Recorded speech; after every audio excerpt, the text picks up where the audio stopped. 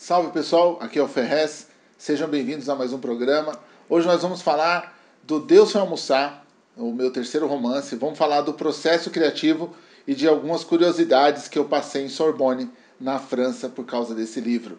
Beleza? Então vem com a gente aí que vai ser da hora.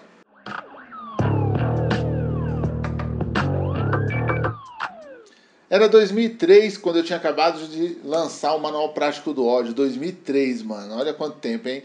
E aí eu já estava pensando qual seria o próximo romance. E em 2004 eu comecei a produzir O Deus Foi Almoçar, o meu terceiro romance. Né? Então fiquei oito anos escrevendo esse livro e lancei ele em 2012. Então você vê o processo aí. Por quê? Pô, Fez, por que, que você? Por que, que eu fiquei oito anos escrevendo um livro? Porque tem hora que a vida da gente é muito problema na quebrada.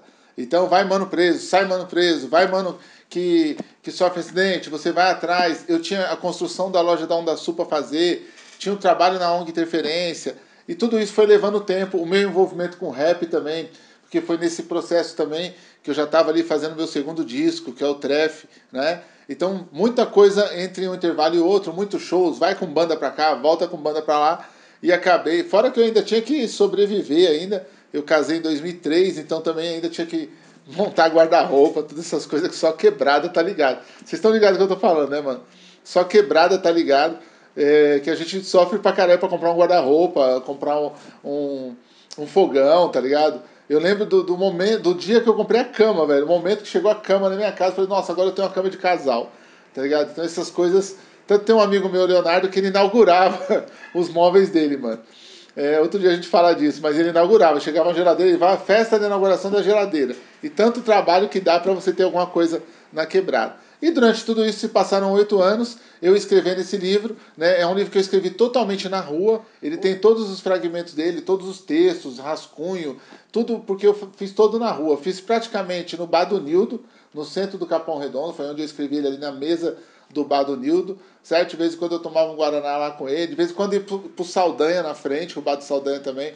Então foi naquele quadrilátero ali que o livro nasceu nesses oito anos, beleza? Agora, o que, que eu queria falar sobre o livro principalmente? Quando eu fui convidado para ir a Paris fazer uma feira literária lá, e depois fui convidado a fazer a Sorbonne, a faculdade de Sorbonne lá na França. E nessa faculdade eu fui muito inspirado porque os caras me convidaram para um negócio chamado ateliê de escrita, mano. Tá ligado?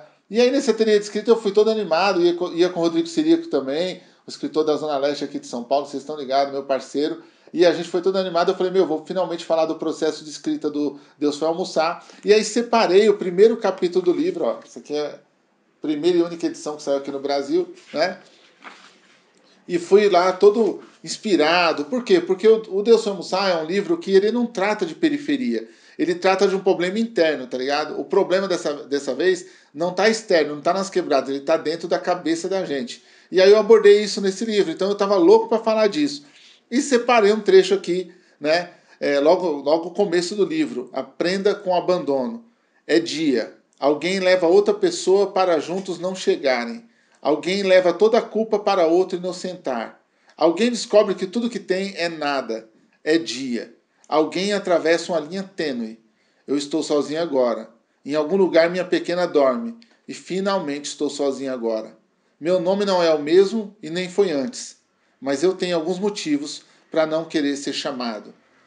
Então, esse começo do livro, eu queria muito abordar ele para poder mostrar como é a construção, como é o começo da construção e, e o começo, na verdade, uma identidade de, de atrair a pessoa para a leitura. Como a gente pode pegar alguém para a leitura logo nos primeiros trechos de um livro, né? Mas não aconteceu isso, Rafa. Quando eu cheguei na tal, no, no tal ateliê de escrita, né, na tal sala, um monte de gente lá esperando para poder ver a gente. E aí eu fui orientado pelo pessoal da Sorbonne a fa falar: como que você vai fazer? Eu falei: eu vou ler os trechos do livro, vou comentar o processo de escrita. Não, não. Eles falaram: a gente quer uma coisa tipo sarau você vai ter que recitar, tal, que a gente quer aquela coisa de São Paulo, aquela coisa do espetáculo.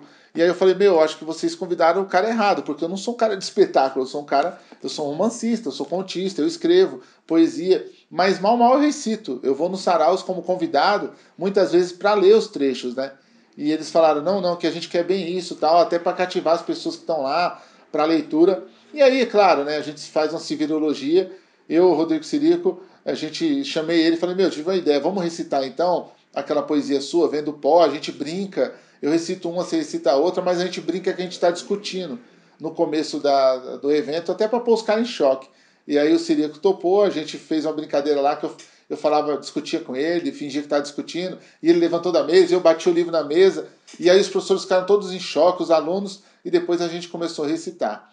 No final do evento, né, eles vieram parabenizar a gente e tal, e aí falou, meu, a gente tomou um susto nesse momento tal. Aí eu falei, é, vocês queriam algo diferente, né? Então a gente aprontou algo diferente. Mas eu fiquei muito chateado porque eu queria ter lido o começo do livro, né, mano? Quando você é escritor, você quer ler o seu livro, você quer mostrar como você conduziu o livro.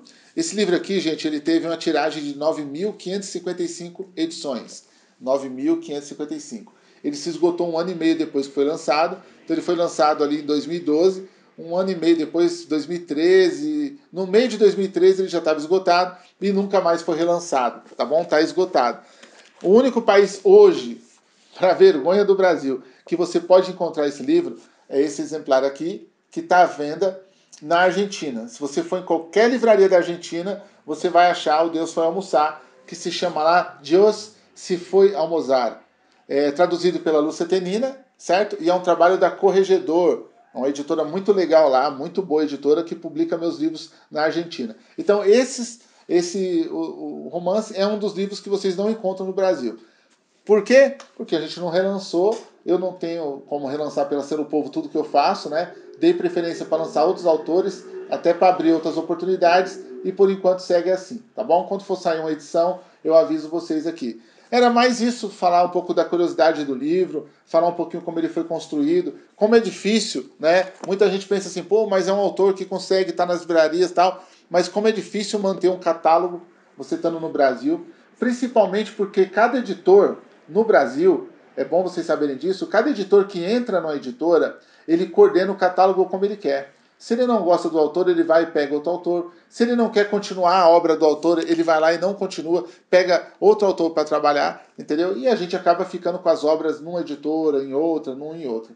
Então muita gente também não sabe disso, que o editor, dentro da editora, ele coordena o autor como ele quer. E muitas vezes a editora não segue aquela coordenação para todos os autores iguais. Não é mimimi, porque eu não dependo disso, vocês estão ligados. A gente vai anunciar esse ano um novo contrato que a gente assinou com outra editora, até para lançar os outros livros, mas por enquanto a história de Deus foi almoçar fica assim. É um livro esgotado que você só encontra na Argentina. Tá bom, Rapa? Se vocês gostaram do vídeo, comente aí o que vocês acharam. Eu sei que tem muita gente assistindo o canal que escreve, que está num processo de criação e de repente, até pelos comentários do vídeo de ontem, né? E de repente fala, ó, oh, não imaginava que nem chegando em outro país o cara consegue ler um trecho do livro dele. Né? Já querem que a gente faça aquilo que eles acham que a gente é.